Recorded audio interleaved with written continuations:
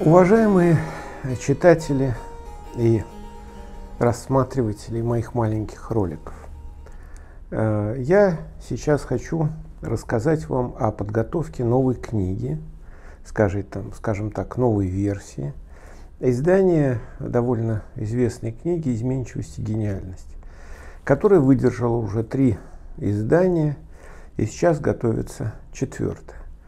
Четвертое это будет переработанная книга, в которой будет много очень актуальных разделов, которые вас взволновали по мере прочтения предыдущих версий. Но в связи с этим я сейчас собираю материал. Я еще готовлю эту книгу.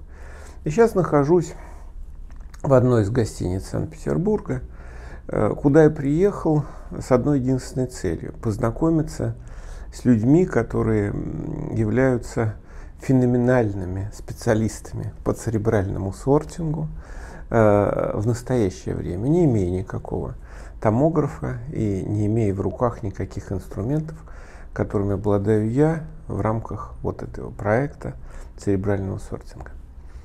Значит, это специалисты в первую очередь в области математики. Ну почему? Потому что есть объективные критерии ну, для математиков, то есть о результатах их работы. Ну, математика ли он решает задачу или не решает? Ну, достаточно вспомнить Перельмана, который вот умеет решать, а другие нет. И обсуждать тут особенно нечего. Так вот, э, я как раз иду сегодня к специалистам в ЭТМО, то есть э, ведущие учреждения в этой области, причем к очень э, знаменитым людям, о которых речь пойдет продолжение этого ролика, если получится, которые умеют отбирать этих самых людей. То есть на самом деле математический отбор у нас в стране сохранился очень хороший. А именно, в свое время там, все, кто учился в советской школе, к сожалению, таких осталось в трезвом уме и ясной памяти немного, помнят, что во всех школах приходили какие-то странные тетеньки, и э, говорили, «А, спойте-ка там, люли-люли, в ополе березонька стояла. Люди пели, дети пели, и их отбирали, отбирали потихонечку. Там первый уровень, как бы дворец пионеров, или там дом пионеров, потом повыше, повыше, повыше, потом в конце концов люди с реальными способностями, найденными опытными специалистами благодаря огромному личному опыту, попадали там или в хоровое пение, или в вокал большой, или в оперу. То есть это была работа. Ну, кроме самого движенцев, как сейчас говорят, те, кто стремился к этому. Но из тех, у кого комбинация внутри мозга, такие, что они уже с детства были заточены только на один род деятельности. Но это редкость, я бы сказал, уникальность. То же самое было и в плавании, когда отбирали детей, загоняли в бассейны из школ, там все смотрели, как они плавают – После этого выбирали, и, значит, соответственно, школа первого уровня, потом юношеская спортивная школа и так дальше отбиралась э, в конце концов для э, в мастера спорта и в мастера спорта международного класса, то есть и когда на олимпийских соревнованиях там стоят на краешке бассейна вот эти люди, там среди них половина примерно всегда стоит тех, кого вот так из десятков тысяч, если не из миллионов детей отобрали и воспитали. А половина стоит гениев, ну то есть те, которые э, приходили в судетские спортивные школы, или их приводили родители, те говорили, ну этот плавать не сможет никогда. Или у этого нет ни голоса, ни слуха, это же безобразие какое-то. То вот эти вот из безобразий как раз ровно половина. Но вот ужас состоит в том, что очень часто – победителями становятся безобразники, то есть те, кто как бы способностями с точки зрения опытных тренеров и опытных детских тренеров не очень обладал. Поэтому как бы вот это спортивные достижения, вот эта школа спортивных достижений, отбора людей со способностями, она всегда была в Советском Союзе. Теперь все это умерло практически, а, хотя и сохранились какие-то следы. А вот в области науки, в первую очередь математики, Такая система существует, и она достаточно э, сложная. Поэтому э, этим стоит воспользоваться. И в первую очередь воспользоваться опытом тех людей, которые благодаря нечеловеческим усилиям, э, собственно говоря, это все поддерживают. А здесь вот Шалыта Анатолий Абрамович, который здесь работает заведующим кафедрой компьютерной технологии, работает давно, там, с 93 -го года, то есть на его плечах это все выросло. Ну, конечно, у него были предшественники, потому что Парфенов и Васильев, которые, собственно говоря, эту кафедру организовали, это очень проницательные и умные люди, которые глядели далеко вперед в те далекие годы. И вот благодаря заботе этих трех людей, собственно говоря, на сегодняшний день наши э, мальчишки э, из школ, из университетов побеждают на всяких олимпиадах по программированию, но это главное. Э, главное то, что они остаются в науке, науке программирования, и это очень важный момент. Потому что одно дело отобранные из десятков тысяч или как у китайцев из э, миллионов э, способных молодых людей некие таланты для этих целей и натасканные в определенной области.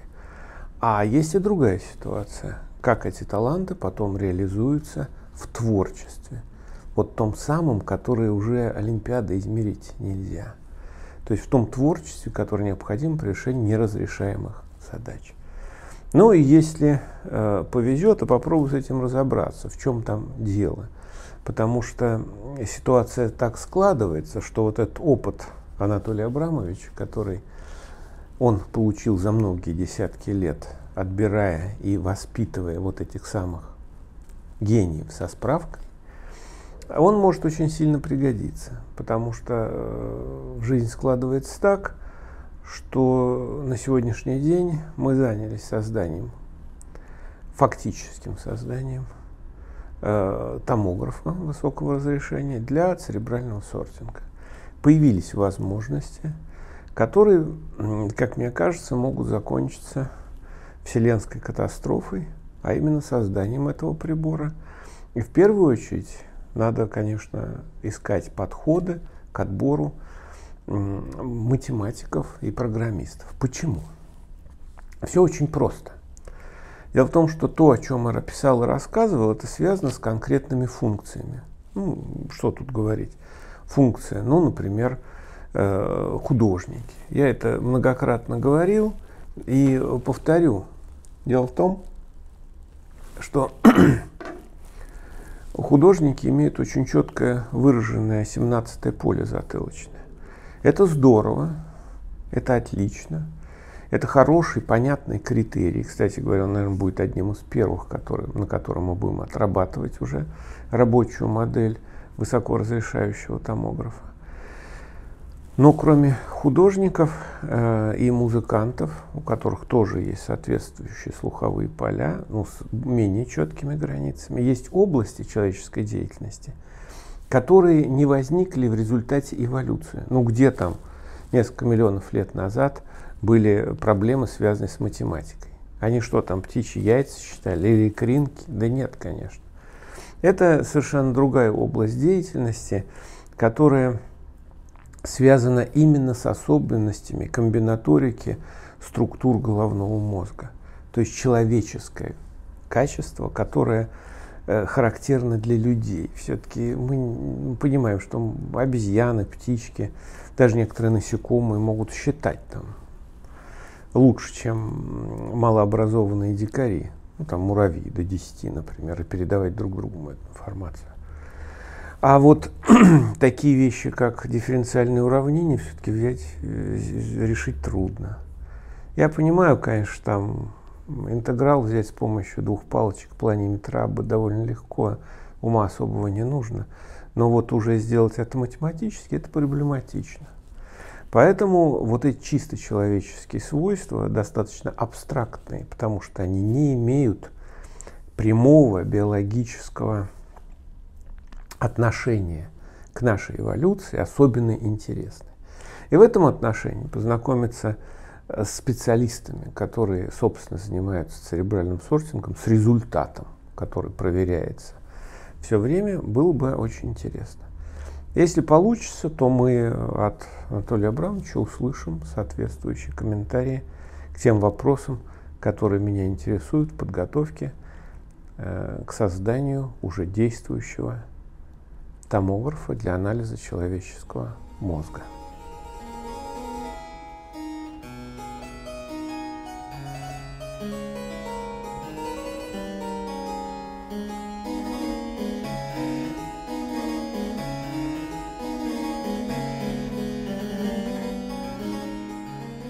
Почему, что привело меня к вам? Значит, исходя вот из-за того, что я рассказал, есть области, которых в эволюции обезьян наших предков, если мы считаем, что мы это обезьян, их не было вообще. Ну, есть зрение, слух, обоняние, осязание. То есть, может быть, про скульптора рассуждать, про художника, про музыканта.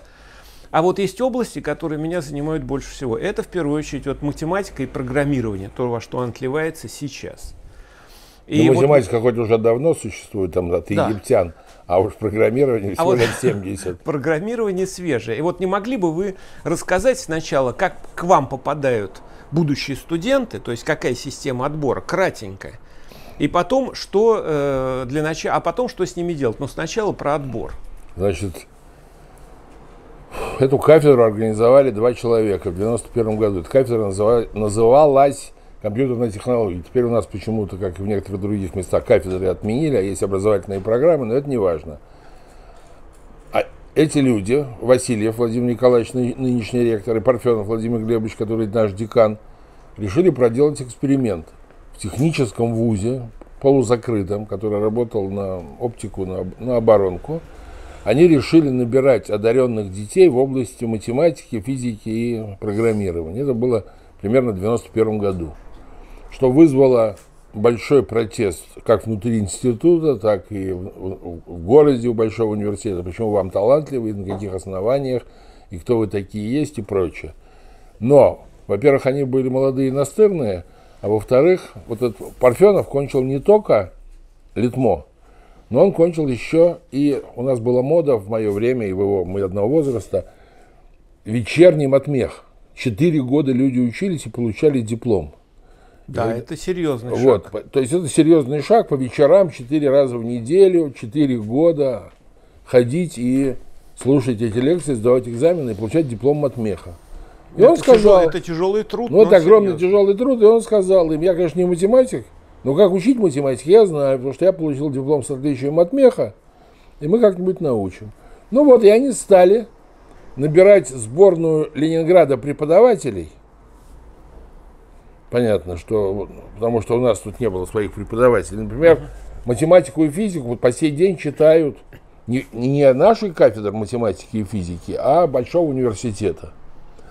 Ну и так далее, и там лучшего кого-то из одного вуза, лучшего другого. Вот сейчас в высшей школе экономики, вот в Москве примерно сейчас вот такая же ситуация. Да, я в теме. Есть четыре ну, классных вещи по компьютерным.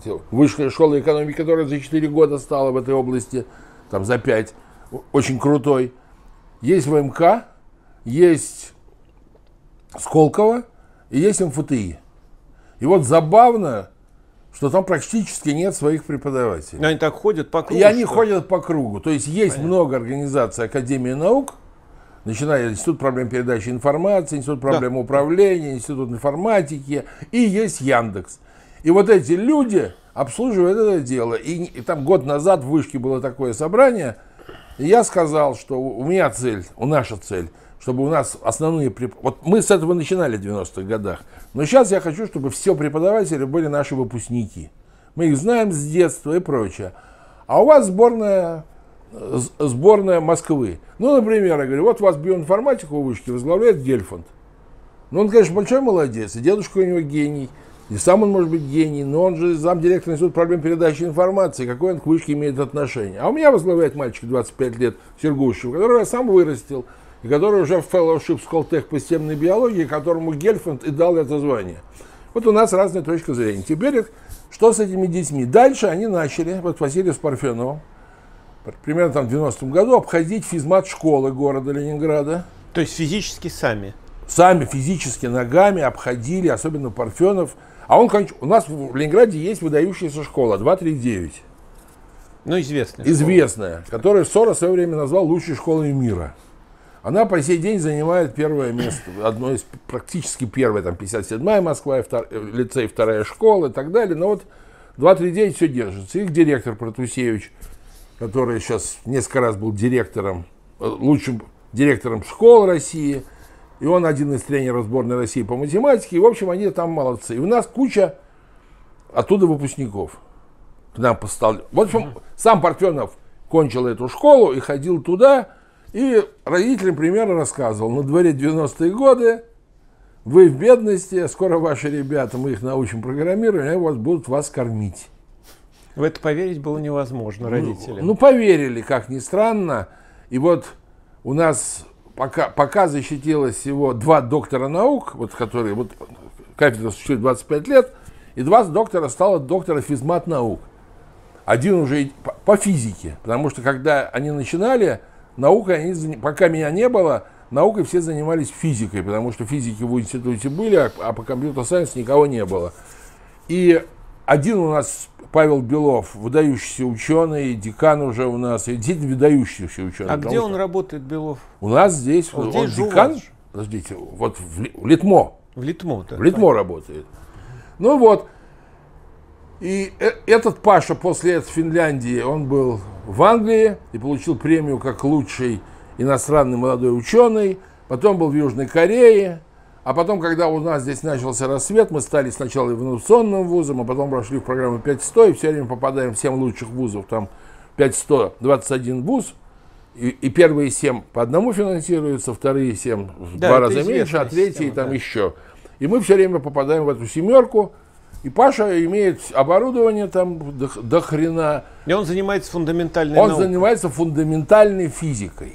Физикой. Физикой. Метаматериалами. То есть идея такая, что если ты берешь хороших детей и их не портишь, то они потом могут сделать в любой вот области, ну, естественно, технической, потому что мы не, не знаем, что там с балетом там или что, вряд ли балерина получится. Ну, балет это генетика. Но это другое дело. В общем, короче говоря, угу. ну вот, и после этого он вернулся из Южной Кореи, и сейчас у него огромная лаборатория, я не знаю, там 100 человек, наверное, работает. И у нас еще куча всяких приглашенных людей, профессора со всего мира. И я могу похвастаться за Литмо. Вообще каких-то фантастических мы результатов добились за последние годы.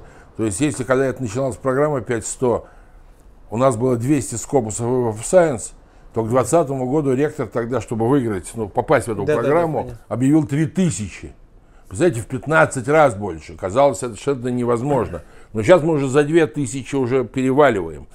Из российских организаций первое место по числу публикаций в этих журналах заняла организация, которая называется, мне даже смешно говорить, Академия наук.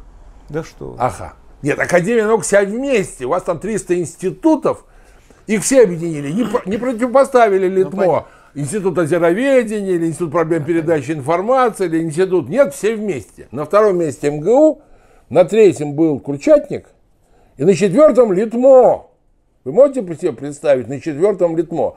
Ну вот, возвращаюсь к этому делу. В общем, короче говоря, этот Паша Белов, а второй Юрий Шполянский, который занимался тоже физикой.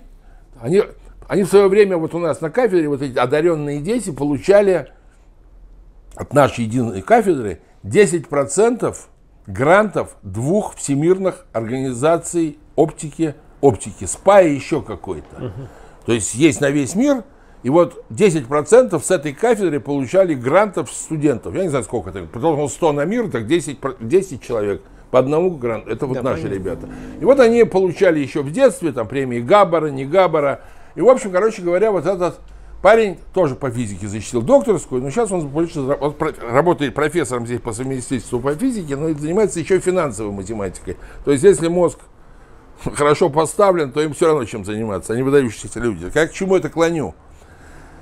Так я был на банкете по поводу защиты докторской диссертации, и папа вот этого мальчика, Юрия Шполянского, сказал, что у меня это третий сын, и, по-моему, все кончили 239, и когда Владимир Глебович пришел нас уговаривать, чтобы идти не на матмех, не на физфак Ленинградского университета, а идти в какой-то неизвестный относительно Литмо, то есть известно как какой-то инженерный закрытый вуз, я сильно сомневался. Но я могу вам сказать, что я ни дня не пожалел, что Юра пошел сюда, и вот подтверждение, что он в 30 лет, а у нас это было редкие вещи, в 30 лет была, да. стал доктором физмат наук. То есть, если у нас все технические, то те Паша Белов и это доктора физмат наук.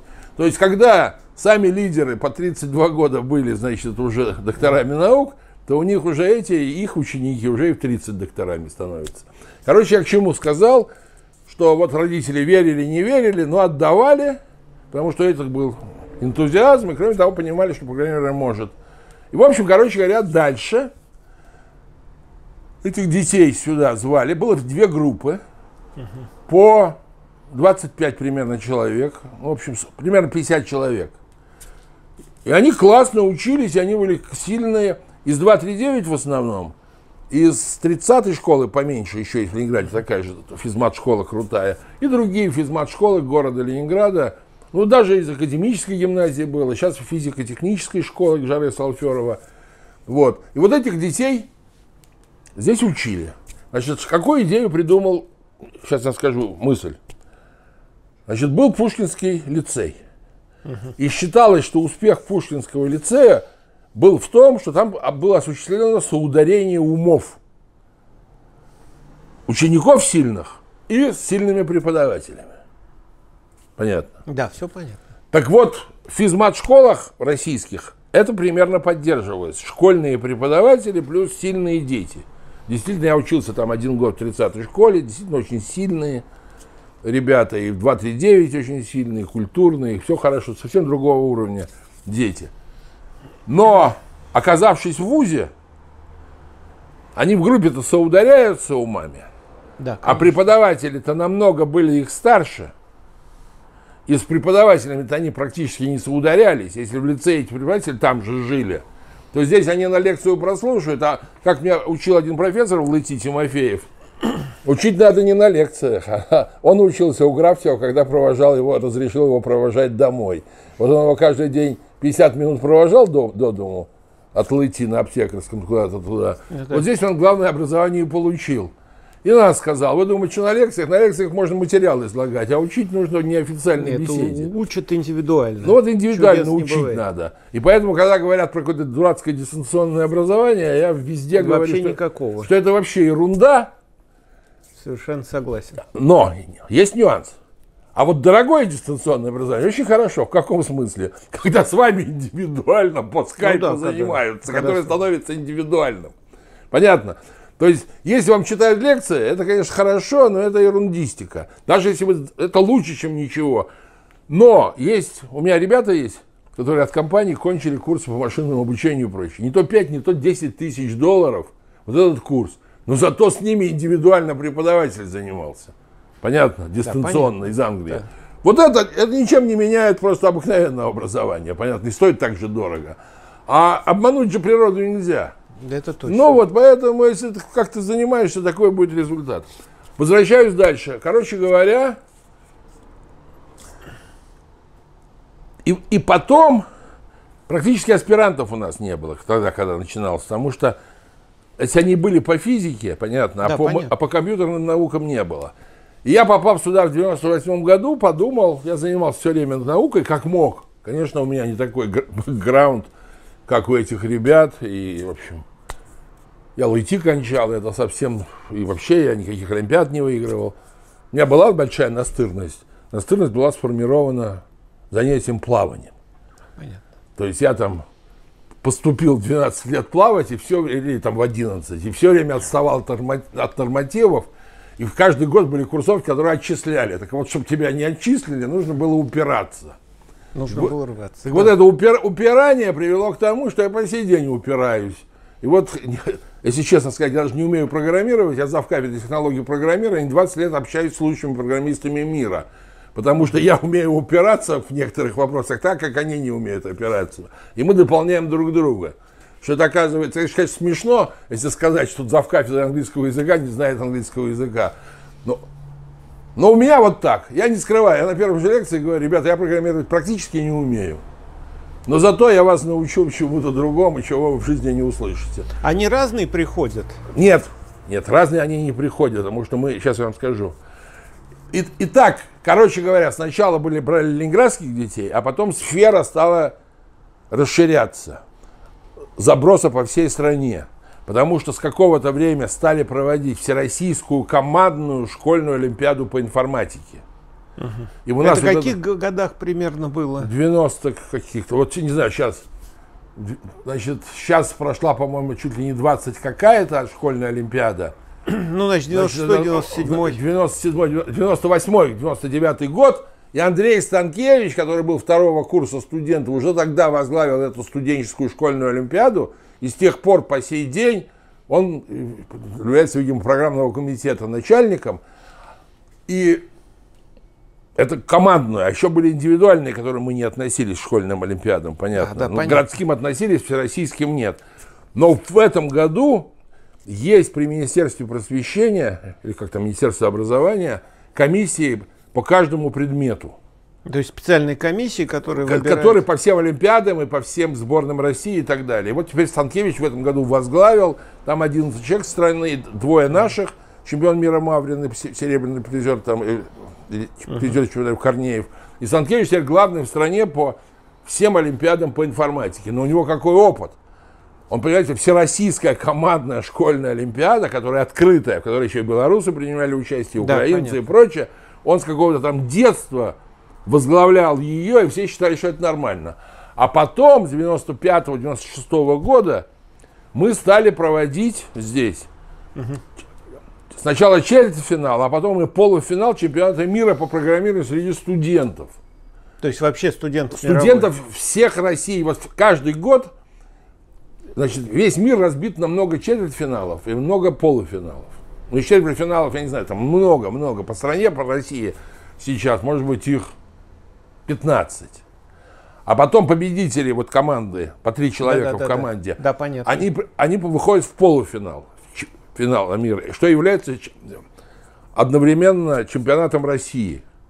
И вот все приезжают сюда, за исключением, чтобы не, деньги не тратить, некоторые едут в Барнаул, угу. они, а некоторые остаются в Ереван, кому ближе, там, из Тбилиси, потому что кроме Украины все наши старые республики остались при ну, вот входят в этой системе, в, в этой системе да, связанной понятно. с этим полуфиналом российским. И судьбы их дальнейшие какие Сейчас скажу. Интересно. Украина не по политическим мотивам, она еще давно как-то отделила, когда только Россия, они, а, а, Советский Союз распался, они то отпали, тогда еще дружба была. Просто там, они исторически в другом месте. И вот чтобы не ездить обязательно в Ленинград из Тбилиси, там, из Еревана да, и прочее, да, поэтому проходит там полуфинал, четвер, э, четвер, э, полуфинал, ну как проходит? По единым задачам и с, с единой оценкой. Да, и понятно. наши ребята контролируют там этот процесс и сходятся все в Ленинград. И в Барнауле, чтобы из Сибири не ездить. Да, понятно. И, и команд 200 приезжают сюда. И всего команд 3. В, в четвертьфинале участвуют, видимо, 700 команд, если не больше. А в полуфинале, наверное, 250. И из них на чемпионат мира едет в разные годы по-разному, в зависимости от квоты – ну, от 15 до 17, до 18 команд от этого да, полуфинала, куда могут входить из Латвии команды, из Эстонии, из России, из Беларуси. Да, вот. И в финале чемпионата мира раньше было 100 команд, а сейчас примерно 130 команд. То есть по три человека садятся, или все одинаковые, все одинаковых майках, только разного цвета и написано разные университеты. Все хотят выиграть. Да, понятно. Вот, а выигрывают, как говорит вот мой учитель, нельзя учить, автор, или коллега Парфенов. Все сигары одинаковые, но лучшие кубинские. Все машины одинаковые, но лучшие все-таки, наверное, немецкие. Ну, и, все, и все духи одинаковые, но все все-таки французские. И все программисты одинаковые, но лучшие русские. В этой области, по крайней мере, в области спортивного программирования. Вот. И когда стали проводить всесоюзные школьные олимпиады, то уже видели уже талантливых детей со всей России. Понятно. И им звонил, у нас сидела женщина, которая каждому маме, папе звонила и уговаривала, чтобы он приезжал к нам учиться, и разговаривали с этими детьми. И чем больше росла наша слава, тем больше к нам все шло этих детей. По сей день у нас самая активная борьба за этих детей, потому что борьба идет... Нет, а потом, когда а потом все, когда стали успехи на, на студенческих олимпиадах, то они тоже пошли и поняли, что сюда стоит идти учиться, потому что здесь можно тебя натренируют, и ты можешь стать призером или чемпионом мира по программированию. И поэтому вот так одно за другим. И по сей день сейчас схватка идет между Высшей школой экономики, между МФТИ, в каком-то смысле между ВМК, ну и нами. Ну, есть Ленинградский университет, Высшая школа экономики из двух частей да, стоит, Московской и Ленинградской. И вот вчера я написал, я вам сказал, страшную статью, еще не сказать, опубликуют, не опубликуют, я на сайт выложил.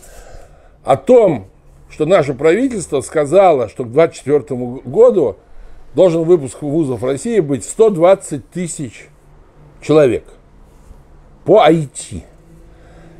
И 30 числа в ведомостях, я забыл сейчас его фамилию, дяденька из, из Института при правительстве России написал, что это очень напоминает кукурузу Хрущева, потому что в 2018 году информатику в стране сдавало всего 67 тысяч человек, а они хотят 120 тысяч выпускать в 2024 году. Из них 11,5% вообще провалило, и только 14 показало результат больше 81 балла, то есть на пятерку. Понятно. То есть вы, вы что хотите, вообще просто всех принимать без экзаменов двоечников? Ну и дальше я написал, что, что может быть, лучше вообще не, не иметь программистов, чем чтобы они делали плохие продукты. Ну да, чем такой количество. А мы с Парфеновым знаем, что в одном году рождения с учетом практически олимпиадах участвуют все одни и те же дети по математике, физике и по программированию. Да, понятно. Пересекающиеся. Их максимум 2000 человек в год. Вот, вот толковых детей, информация. толковых детей, вот таких, которые и Олимпиады, и какие-нибудь ЕГЭ очень высокие, их на всю страну 2000. И поэтому я там вчера написал, видимо, те, кто готовил вот этот документ для правительства, спутались с Китаем. Они справку брали по Китаю 120 тысяч, а положили в российскую справку. И вот я дальше говорю, о ком вы вообще говорите? Есть спецназ, есть какая-то высшая эшелон просто армии, есть армия, и есть народное ополчение, где в бандане с ружом на лыжах, и, не знаю, там. И вот таких вы хотите набрать, так они долго оборону не продержат. А у меня же одна песня, чтобы держать их в России этих. Так может быть, что здесь берут войти не числом, а умением? Ну, только так и надо. Ну вот, а раз не числом, а умением, если задержать тех, кто уезжают, их хватит. А потом привожу цифры смертельные 2014 года – что эти говорят, что им нужно там 120 тысяч человек, а Белоуса такой есть предприниматель, известный в IT, да, известный. который в Акронис говорит, это 2014 года, мне нужно набрать 30-50 человек и большущая проблема. А женщина, которая делала процессор Балкан, не помню, Байкал, сказала мне для, для программирования больших интегральных схем создать, мне нужно 20 человек найти, это огромная проблема, несмотря на то, что у них есть МИСИС под Москвой. Да, да, да. Ну, не МИСИС, а этот, который электронный техник, который готовит людей. Да, да. Так вот реальные факты. 20 человек не найти, 300 человек не найти толковых, 50 человек не найти, а они говорят 120 тысяч. Ну да, ополченцев скопище. Ну, ополчение скопище. Но это еще не все. А дальше в 2014 году, почему у меня записи были в этих заметках о мотивации по 2014 год, по математике зачет шел 24 балла из 100. Вот если вы школу кончали, вру, вру, 20 баллов это вам хватало для того, чтобы выйти из школы по математике. И 24 для поступления в ВУЗ. С ума сойти. Причем Рукшин есть мой знакомый, приятель, народный учитель России 239, он ведет школу математическую, не саму школу вот эту, дополнительное образование. Он считается, он недавно получил народного учителя Республики России, таких вообще, наверное, 60 или 70 человек за всю вот историю России было. Он считается учителем Перельмана и Стаса Смирнова, Филдс да, лауреата. И он сказал, что чтобы получить вот эти 20 баллов, нужно решить, по-моему, три задачи или четыре из 21, что может сделать четвероклассник. И кончается у меня статья словами Путина и, и ссылка на, интер, на его интервью который говорит, что в некоторые московские вузы на космонавтику, авиацию и прочее поступают люди с 24 баллами по математике. Ну вот. И потом они еще-то удивляются. Дальше я заканчиваю эту статью словами. Сегодня, конечно, не 14 год, я не знаю, хуже стало или лучше, у меня нет статистики. Но, 1200, но 120 тысяч человек мне не дают покою. 120 тысяч никому не даст. Но это еще не все. Это 120 тысяч с высшим образованием. И еще 800 тысяч у них указано. Это в постановлении правительства. Со средним, какой-то на среднемировом уровне.